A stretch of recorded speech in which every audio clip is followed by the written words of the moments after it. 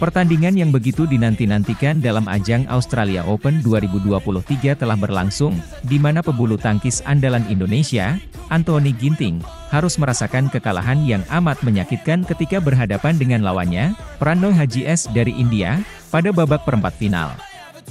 Di court 1 yang dipenuhi sorak-sorai penonton, Anthony Ginting awalnya tampil dengan percaya diri yang membara, unggul telak 6-1 atas Pranoy Haji S dalam game pertama.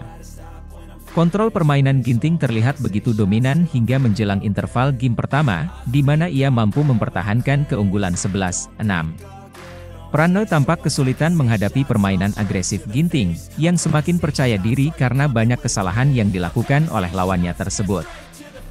Namun, kemenangan tampaknya belum menjadi miliknya begitu saja, karena di poin-poin akhir game pertama, Ginting terlihat sedikit kehilangan fokus, sehingga Pranay mampu memangkas jarak menjadi hanya tiga angka saja.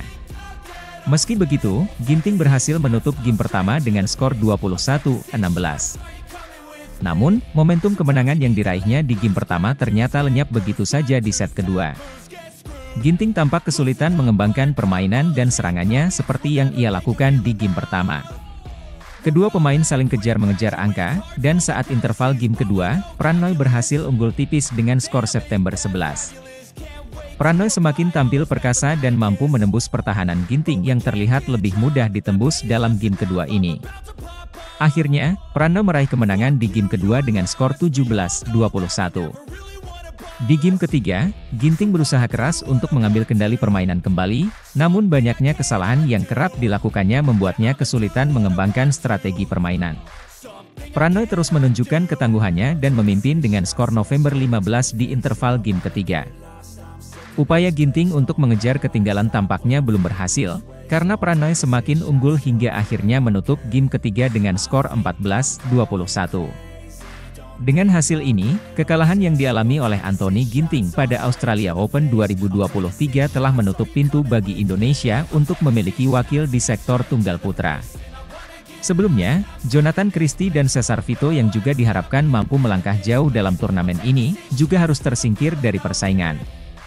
Semangat dan percaya diri yang ditunjukkan oleh Anthony Ginting sebelum pertandingan ternyata tidak mampu membawanya meraih kemenangan. Pranoy Haji S dari India telah menunjukkan permainan yang cemerlang dan mampu mengalahkan andalan Indonesia tersebut. Meskipun harus menelan kekalahan, Ginting tetaplah pebulu tangkis yang berbakat dan berpotensi untuk meraih kesuksesan di masa mendatang. Australia Open 2023 telah memberikan kenangan yang pahit bagi tim Indonesia, tetapi prestasi dan semangat para pebulu tangkisnya tetaplah patut diacungi jempol. Meskipun belum berhasil meraih gelar juara, kehadiran mereka di ajang bergengsi ini telah menginspirasi dan membanggakan negara. Selamat dan sukses untuk Pranoy Haji S yang berhasil melangkah lebih jauh dalam turnamen ini. Semoga ia dapat terus menunjukkan permainan yang luar biasa dan meraih kesuksesan di masa depan. Bagi Anthony Ginting, Jonathan Christie, Cesar Vito, dan seluruh pebulu tangkis Indonesia, Tetaplah semangat dan terus berjuang untuk meraih prestasi gemilang di kancah internasional. Sukses selalu!